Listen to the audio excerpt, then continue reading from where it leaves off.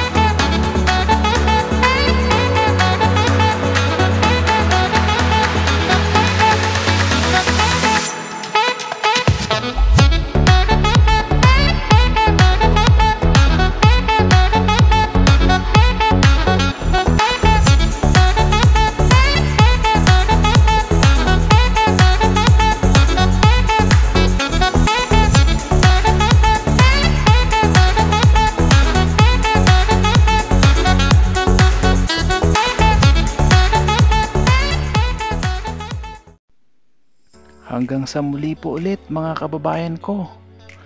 Magkita-kita ulit tayo sa ating susunod na video. Huwag po ninyong kalimutang mag-subscribe sa ating lumalaking YouTube channel, Pinoy Tots TV USA.